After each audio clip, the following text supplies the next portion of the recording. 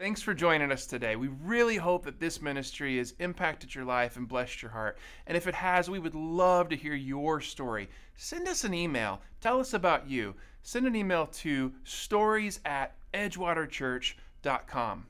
And also, if you'd like to partner financially with this ministry, you may do so at our website, edgewaterchurch.com, or you can download the app through the iTunes Store or through Google Play. Again, thank you so much for being with us today. Thank you so much for watching today. Now prepare your hearts for You're a mean one, Mr. Grinch. You really are a heel. You're as cuddly as a cactus. You're as charming as an eel, Mr. Grinch. You're a bad banana with a greasy black peel. We're in the middle of this Grinch series, which is great. Um, I'm excited about it. It's a, a, kind of a cool series we're getting ready to jump into, and and so we're as we're moving through this whole thing, the it's this whole idea, this concept of how the Grinch stole Christmas from the Who's, how sometimes the world around us will steal certain aspects that we find wrapped up in the Advent season. For instance, how sometimes the world around us can steal our hope, how sometimes it can take our peace, that can rob us of our joy, and maybe even steal away our love. And so, as we move through this series, we're hoping that we can help you take back those parts of your life that maybe some of you felt like have been taken. I know last week, Pastor Dan, he spoke on hope, and, and we're doing these acrostics, and, and you know, being an Army guy, acronyms, acrostics, we love those things. And so last week, Pastor Dan talked about with hope that we hold on to what it matters the most. He also talked about how to open yourself up to God's will. He also talked about protecting our hearts and finally having an eternal focus. This week, we're going to jump in and we're going to explore what it means to have peace and to really kind of start out that idea is that, listen, we all know that we live in a world that peace right now is a pretty difficult thing to find sometimes, isn't it? And a lot of times what we do is we initially when we say peace, we think about the world around us, everything that's going on, all the, all the pain, all the struggle, all the difficulties in the world around. But I'm not talking just about that kind of peace. I'm talking about the inner peace that we have in our own lives. I don't know about you, but there's been times in my life and our marriage that when Christmas came around, it wasn't a whole lot of peace because we were worrying about money issues or health issues or family issues. That there's all kinds of things that are going on around us that can rob us of that peace that God wants us to have, that kind of peace beyond understanding. And I think oftentimes we get so focused and so, so lost in the situations that we, we take our, our focus, our vision, our eyes off Christ, off what he teaches us. So I'm hoping tonight as we go through this message that we can give you some tools, some things that can help equip you to understand this whole concept of peace and what it really means. But here, the first thing I want you to understand is a couple of misconceptions about peace. And the first one is this the first misconception is that peace is not the absence of conflict that oftentimes we think that, you know, if I have peace, there won't be conflict around me. But here's the thing there's a peace that's finding peace in conflict. The other part of that is, is getting to a place where we understand that sometimes we think that peace comes through compromise. And that's a, you know, if I just give this or I just give that, that I'll just find peace at it. And sometimes, no matter how much you compromise, you're not going to find peace in that situation that sometimes in the compromise causes distress.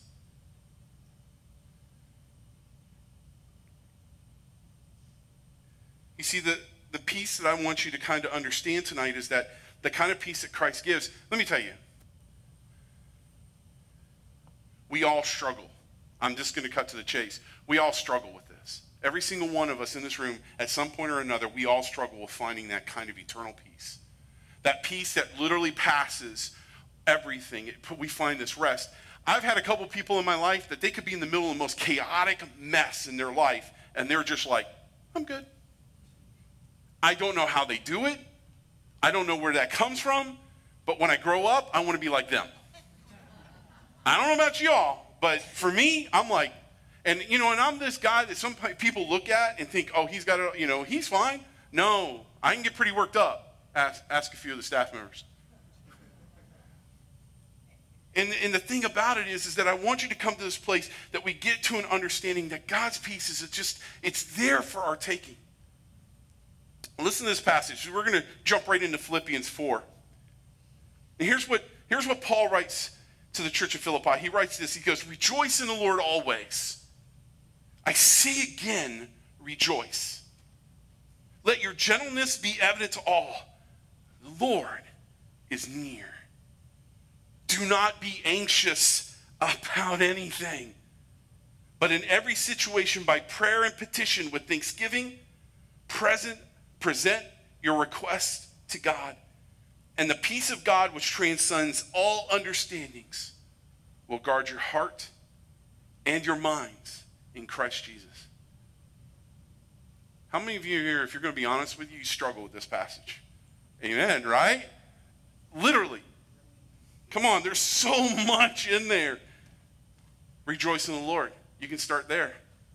How many of us sit and no matter our circumstances, rejoice?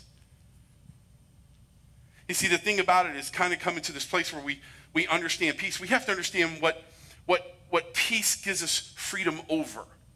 Kind of understanding what peace gives us freedom over. It gives us this freedom over anxiety. And, and here's the thing we are always somehow getting anxious about something, like I mentioned a few seconds ago.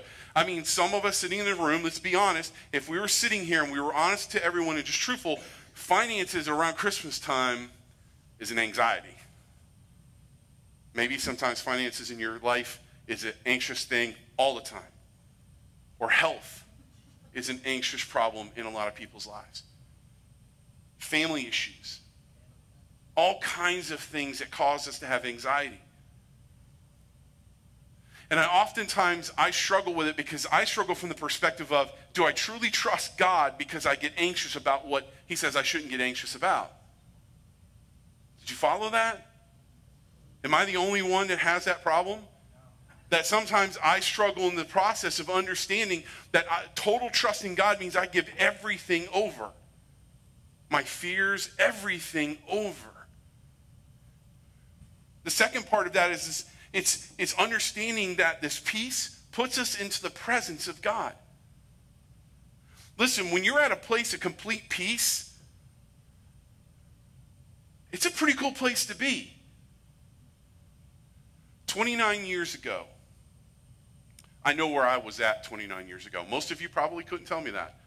But for some of, for some of us, but for me particular, I know exactly where I was at 29 years ago. 29 years ago, I was sitting one mile from the Iraq border in Saudi Arabia, waiting to go to war. Scary time for me. Weird time. But I was at peace. I had this peace about what I was about to do that was just beyond. Yes, I'm that old. I really am that old. um, She's there counting. I'm like, yes. Just, just being in a situation where I didn't know what tomorrow was going to bring. But spending time in prayer in the presence of God brought a peace over me that was beyond my understanding. It didn't mean I was absent of fear. It didn't mean I was absent of all those other emotions. It just meant I was at peace. I was okay with it. Let me focus on what I had to do. And so, my hope tonight is as we begin to walk through, I'm going to lay out, as we did with hope, I'm going to do peace. And it's broken down into five pieces. And so, I want to go over how you can take back and take ownership of peace in your life and how you can live out this peace, how you can walk this out, how you can pull it all together and, and, and really kind of get this grip on how to do it. In the first part, it starts by saying this pray about everything. Philippians 4 6. Do not be anxious about anything, but in every situation, by prayer and petition, with thanksgiving, present your request to God. Prayer is our chance to get a different perspective on the situation. If you've ever sat in a situation and you've been this overwhelming problem in front of you and you've sat down to take the time to find that moment to spend it in prayer. And I'm going to tell you that's probably one of the biggest struggles for most Christians today is to actually engage their life in true prayer. And I'm not talking about the kind of prayer that most of us do when we talk on the phone with a friend. You see, I, when I talk to teenagers sometimes, I teach them about prayer. This is what I tell them. Most of you, you pick up your phone and you talk to God like you're talking to someone on the phone. Blah, blah, blah, blah, blah, blah, blah. You're done, you hang up, it's over. And that's how you spend some of your time in prayer. Blah, blah, blah, blah, blah, blah, hang up, it's over. But God's on the other side of the line going, um, excuse me, when do I get to talk? When do I get to speak? When do I get to engage in this?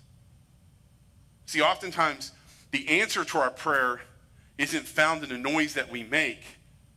The answer to the prayer is in the silence that we listen and hear for his voice in our lives. God speaks in our lives. He does. How are you listening to what he has to say?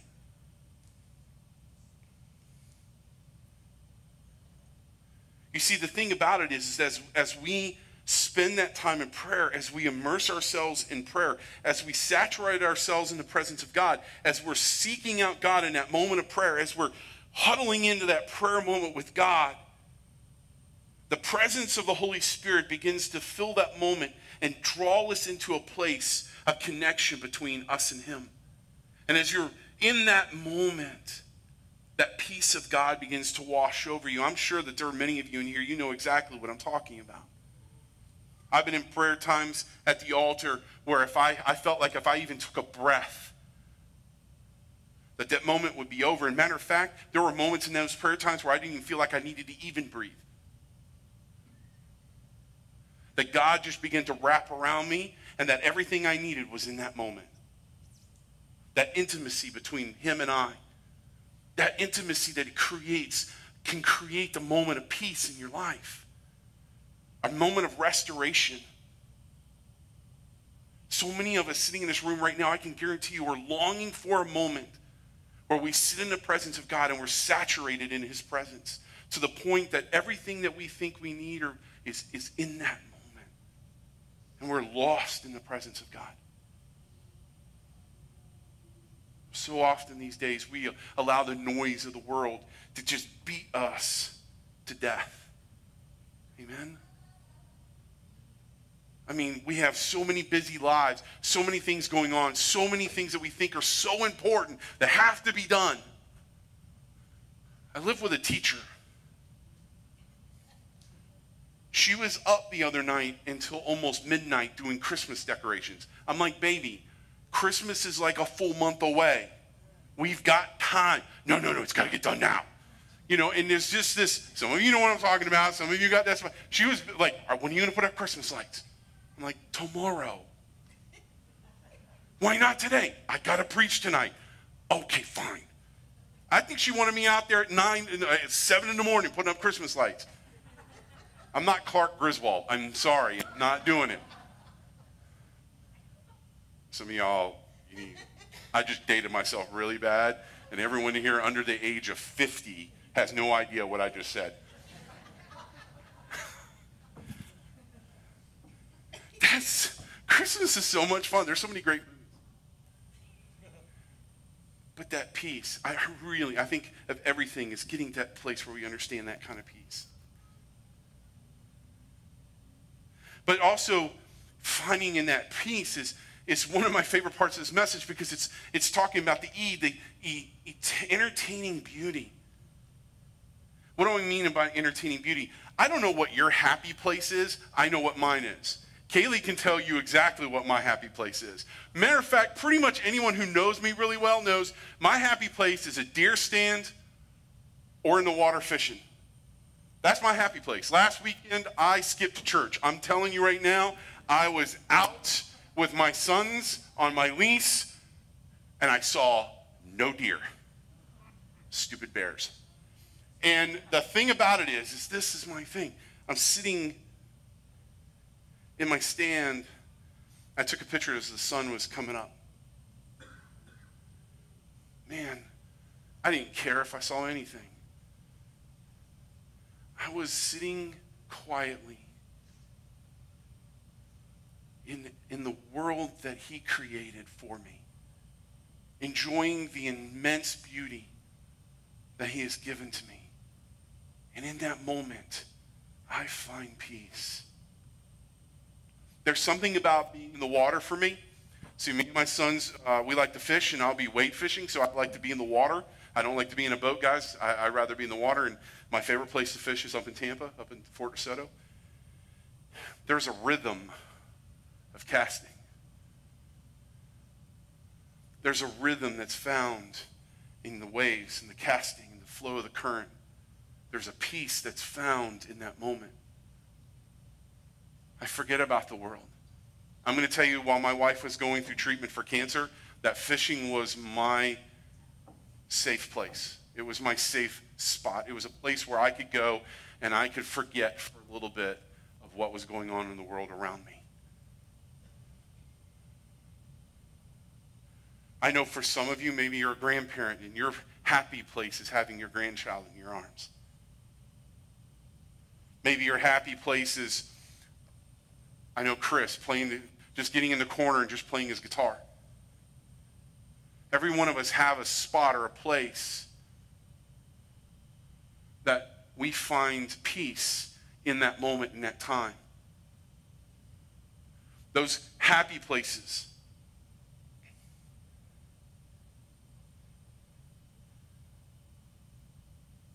In Philippians 4, Paul writes these. He goes, he goes, finally, brothers and sisters, whatever is true, whatever is noble, whatever is right, whatever is pure, whatever is lovely, whatever is admirable, if anything is excellent and praiseworthy, think upon such things. How often do our minds wander into things that are opposite of that? How many of us get caught up wondering and thinking about all the struggles and everything? See, that's the fight when you get into your happy place. That place that you feel at home, that place that brings comfort, is not allowing that to creep into that world. But that, that whole idea of getting into that place where you feel at peace. I don't know what that is for you. I hope you do. The third part of this, the A of this is, you know, we're walking down peace, right? So I'm, I'm actually learning how to spell at the same time. Um, but uh, the, the third part is accepting God's gift of peace. And that there is probably one of the most difficult things, to be honest with you, is accepting God's peace. Jesus said this in John 14, 27. He said, Peace I leave with you, my peace I give you. There's no condition to that statement. There's no condition to that gift. There's no, if you do this, I'll give you peace. What did he say? I give you, I leave it with you. I give you this peace. I give you mine. Getting into a place where we're willing to accept what God has given us, sometimes some of us don't even think we deserve it. Let me help you with something. There is not one person in this room that deserves anything from him. You can do nothing to earn it. You can do nothing to be approved for it. That's the beauty of it. It is yours, given to you freely, without hindrance, without reservation, without condition. It's given. And when we learn to take ownership of what God has given us, then we can truly walk out this peace. We can truly become the people God has called us to be when we get to a place that we start understanding who we are in Him. Because so many of us, I don't deserve it. I'm not good enough. I'll never be this, I'll this, that. The list goes on and on. But the moment we realize it's ours, we just have to accept it, like accepting Him. I am so grateful that my salvation is not based on anything that I'll ever be able to do because I will never be able to do anything to get it. Salvation is a free gift given to anyone who asks, anyone who seeks for it.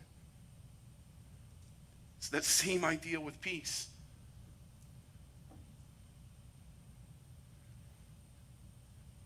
It's as simple as praying, God, just fill me in your peace. Fill me with it. Give me your peace. Let me rest in your peace. And believe it. I mean, if I'm just cutting to the chase tonight, how many of us sitting in the room literally have a struggle with accepting what God really has for us? Because we conditional it. We put conditions on it ourselves.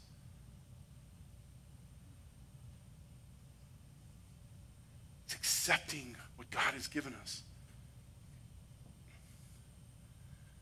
And here's one of the parts that I think is one of the cruelest things in the world is fear. What fear can do to people, what fear can do to how we do things. The C in this, if you're doing it, is conquer your fear. Fear is that thing that holds us back from doing the things in our lives that God calls us to do. Like a year ago, me taking a, not even a year ago, well, yeah, about a year ago, me walking into Pastor Dan's office and saying, hey, man, I got to talk about something. What's up? I think God's starting to move me in a new direction in life. What do you mean? Well, I love kids. I do. Everyone who knows me, you put me around teenagers, I mean, that's one of my happy places. But over the last few years, God's been kind of moving my heart to something a little different. And see, I was fighting it because I was afraid of change, afraid what the future was going to bring in front of me, afraid of what the next step in life was going to be because my comfort zone is also being a youth pastor. I know how to do my job. I can almost do my job in autopilot. And that's easy. But taking the step and walking out into the darkness and going into a whole different area of ministry, moving out of a support role in youth ministry and being one of those pastors who's in that support mode doing youth ministry, but moving into someone who's going to be at the front end of the spear, being in a pastoral role. That's a big, giant change and a big fear monster running right with it.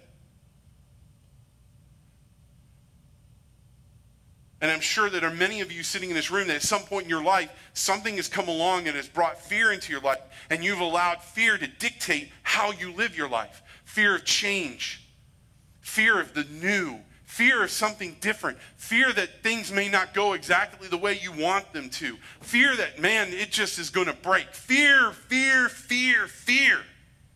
It eats at us. Fear that someone doesn't love you. Fear that you're not going to have enough money. Fear you're not going to be healthy enough. Fear you're going to do this. Fear that. Fear. Man, it's crazy.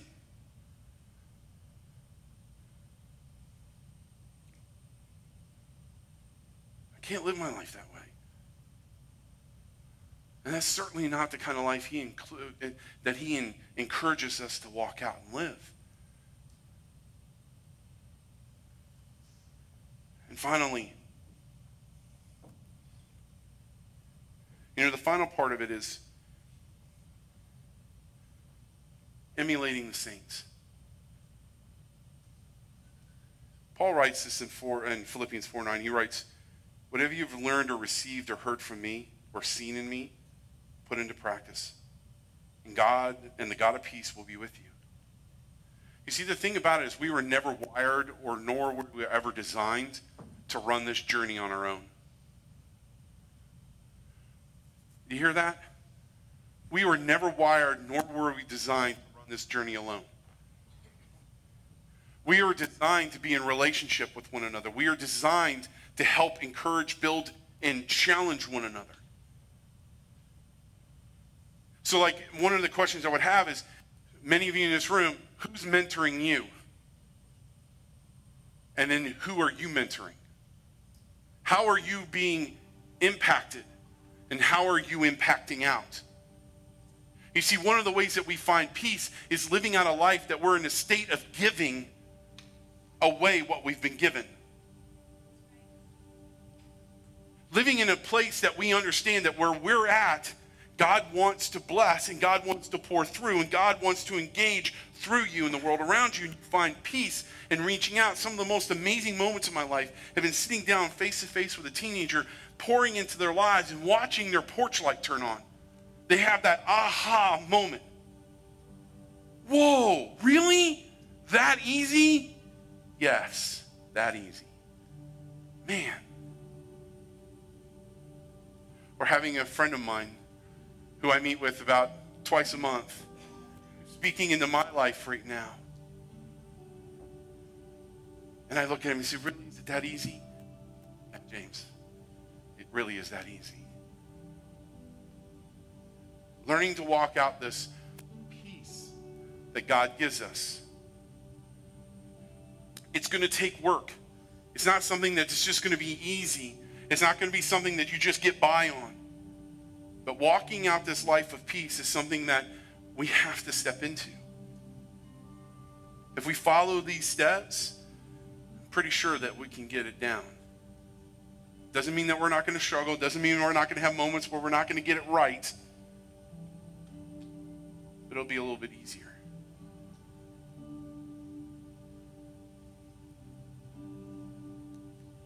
Heavenly Father, I thank you for tonight. I thank you that no matter what, no matter who we are, no matter what our life is, no matter what our life situation is, that God, you are with us. That God, your constant desire is to pull us close to you that your constant desire in our life is to continue to pour your love, your peace, your grace, your mercy into our lives. And Father, I pray that we open our hearts to hear and, and Lord, just be willing to receive and accept those for ourselves. To grasp hold of you and hold on to you and to never let go.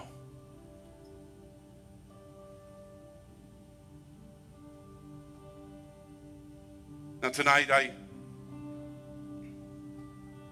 Maybe there's someone in this room that's sitting here and maybe you've never, ever engaged in a relationship with Jesus Christ. Maybe you've never found that peace that comes in knowing Him. Tonight, we're going to give you that chance. I'm going to pray a prayer in a minute, and I encourage all of us to, pray together. But for those of you in this room, if you've never prayed this prayer, man, just open your hearts. Let God pour in. Let's pray this together. Dear Jesus, thank you for loving me. Thank you for wanting to pour your life into mine. Now I open myself to you. Come, live inside me. I give you my life.